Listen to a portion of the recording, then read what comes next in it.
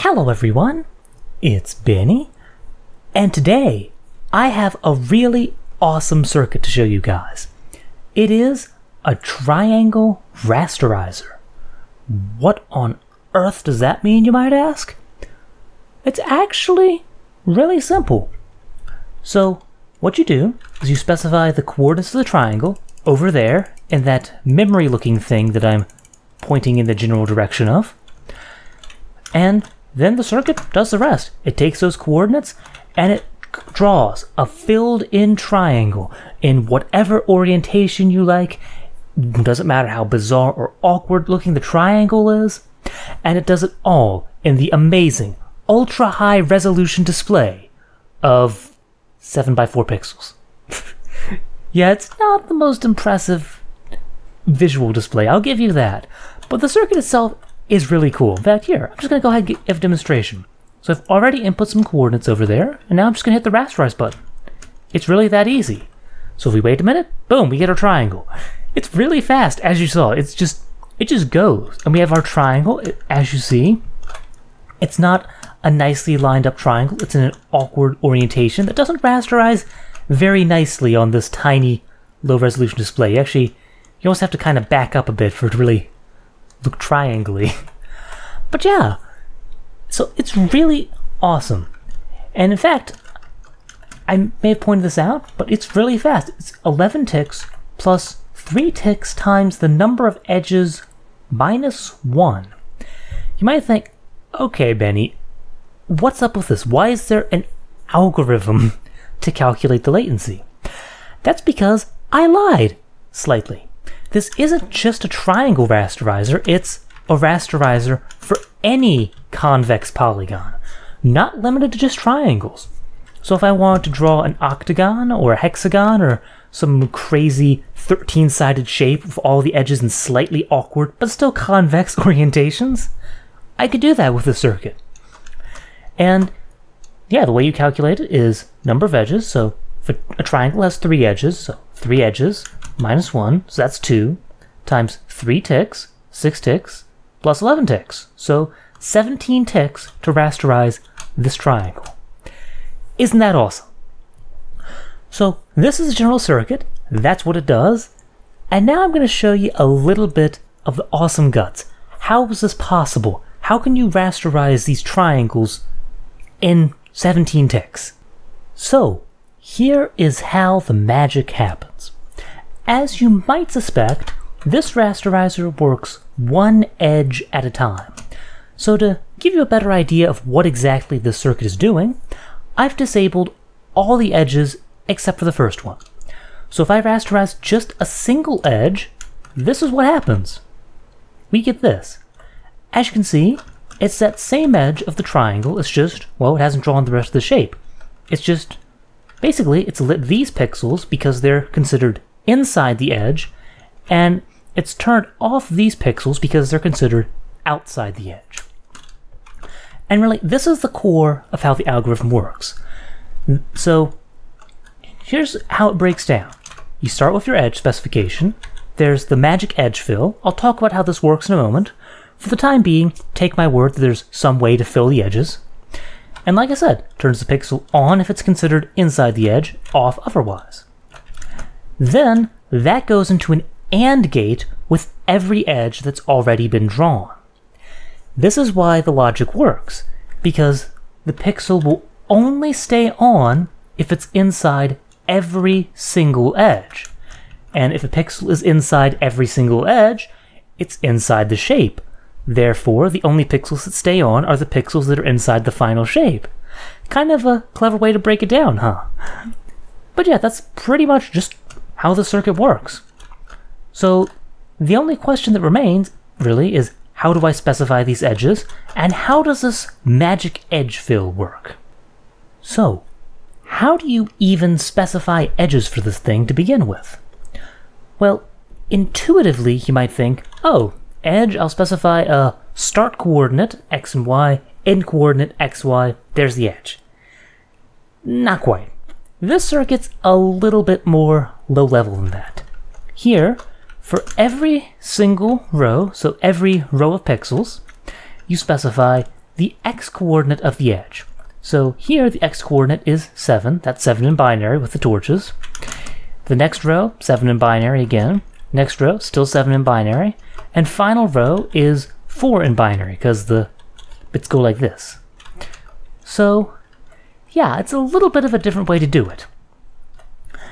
And if you'd like to specify your edges with start point, end point, you can do that. There's an algorithm to go from, well, that format to this one edge coordinate per row format. And that would be a line drawing algorithm, like, say, Bresenham's line algorithm. So if you've seen any line drawers out there, this integrates very nicely with them. You can just hook a line drawer up, that outputs the edge coordinates, and instead of just seeing a straight edge, hey, now you could get potentially a complete filled in polygon. So that's kind of cool. And yeah, you just specify it here. I have a basic memory setup, really for demonstration purposes. But yeah, that's pretty much how the edges are specified in this system. So, once you have your edge specified, how does the circuit take that and turn it into this, well, filled edge representation? Well, the real magic happens in this circuit right here, which looks suspiciously like a decoder, but plot twist, it is not a decoder, not even close. It is an entirely different circuit that one of my fellow members of the ORE server has dubbed a Mersenne barrel shifter. uh, don't worry, it's not nearly as bizarre or intimidating as it sounds. It's just, it's actually a pretty straightforward circuit. It's just a little unusual. So the way this works is very similar to a unary adder if you've ever seen one of those. You input the number of binary, and that number corresponds to the number of lines that turn on. So a 3 in binary, hey, 3 rows have turned on. Let's turn on all 7. All 7 rows turn on. Specify 5. The 5 rows turn on, etc., etc. You get the general idea. So that's yeah, that's how it works. You put in the number of binary, whatever number that is, that is the number of rows that come on in this direction. I'll talk about how the circuit does that in just a moment. For now, take me at my word that there's a really simple and fast circuit that can do that. So once you have the row filled in, well, that's pretty much how the, the rows are filled in. As you can see, this, this fill-in is pretty much what happens here. The only question is, is this side the side that gets filled in, or is this side the side that gets filled in? And the way you determine that is really just an XOR gate. So there's an XOR gate, and basically it can potentially invert whatever the Mersenne barrel shifter comes up with, or unary adder, or pseudo barrel shifter, or whatever you want to call this thing, the, the magic sauce circuit. There we go. Whatever the magic sauce circuit generates, this can optionally invert that so you can fill edges in the other direction. And that's really all the filling logic is. It's this magic sauce circuit and an XOR gate. So XOR magic sauce with are we inverting or not? And yeah, that goes straight into the memory, straight into ANDing with the previous bit, which by the way, having memory that ANDs with the previous bit actually simplifies to just an RS NOR latch. Fun fact of the day. So that's just a really cool piece of logic. If you have a circuit, you want to iteratively AND it with the whatever new input you have. You don't need any fancy circuits, you just need an RS NOR latch. And yeah, that's all there is to it. It's that's it. Final topic of the video. How does the magic sauce circuit work? So to give a better demonstration of what exactly this is doing, I went ahead and destroyed the inverters on the front. Because let's be honest, they don't do anything. They're not part of the logic at all. They're just so I could have inverted inputs because I'm weird like that. They don't have any logical function. So here's the circuit as it's designed, as it's doing what it's intended to do. If I input nothing, I have all bits are on. And if I input, say, a 1, you notice this all ones number has shifted over by one place.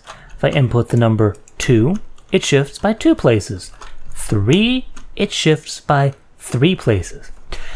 So this is where the idea of the so-called Mersenne barrel shifter comes from. Because this is doing what a barrel shifter does. It shifts the number by a specified number of places. I can specify in binary how many places I want to shift this number over.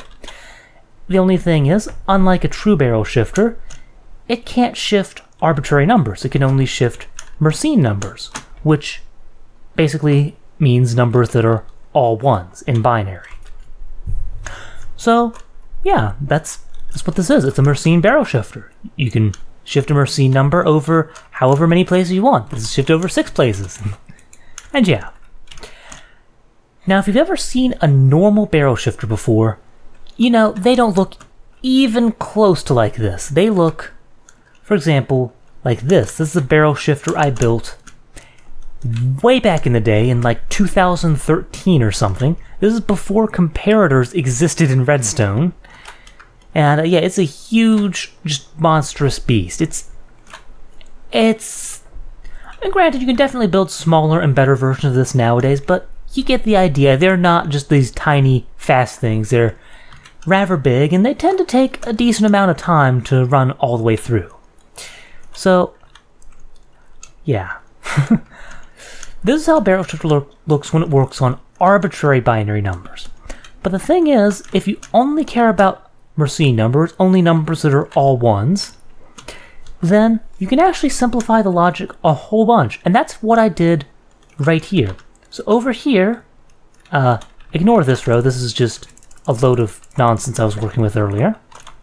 Over here I have like a truth table set up of the binary number and the barrel shifted output. And what I've done is for each of these outputs, I've derived a logical function that equates to it. So basically, I built a fancy logic gate for every single one of the eight, or well in this case, seven outputs. So in the first one, it's not B0 and not B1 and not B2. For the next one, it's not B1 and not B2. For the next bit, it's not B2 or B1 and B0. And so forth and so on. And that is what the Magic Sauce circuit does. So it's just a really optimized version of a barrel shifter. Each of these rows is one of the logical functions being implemented. And there you go. This is that not B1 and not B2 and not B0 logic. And because it all simplifies to a single three input logic gate for all eight of these, and all eight can work in parallel, well, the circuit ends up being really, really fast. This is only two ticks for 8 bits. And I'm not entirely convinced it can't be one tick for 8 bits. It is, it's really good. And it scales really well. This works excellent, even far beyond if you want to do 16 bits or 32 bits. I mean, you just need a logic gate for every bit you do. And none of the logic gates depend on each other, so really fast. And actually, this is really all independent for every single bit, so you can make this for a whole display, and you can make it really darn fast because all the bits operate independently. But yeah, this is really all there is to, the, to it. This is definitely not the best or fastest way to do this, as I've already hinted at. You can make a much bigger display at negligible performance cost. In fact, right now, doing edge by edge, not even necessary. You can actually coalesce the edges so you can draw any convex polygon with just two of these edge representations. So really, if you do the coalesced edge method, this is just flat 14 ticks for any arbitrary convex polygon, which is really, really good.